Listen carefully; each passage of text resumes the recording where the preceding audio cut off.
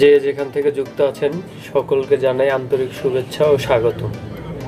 আমাদের চ্যানেলে যদি আপনারা নতুন হয়ে থাকেন, তবে অনুরোধ থাকবে চ্যানেলটি সাবস্ক্রাইব করে বেল আইকনটি ক্লিক করে দিবেন।